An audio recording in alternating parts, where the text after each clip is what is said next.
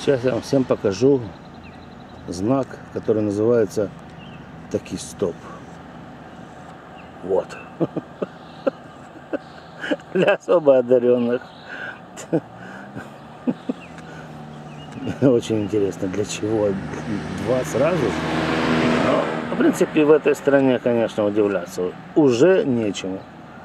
Всё, красивая погодка, весна, почти уже практически лето. Но останавливаться надо. Все, пока.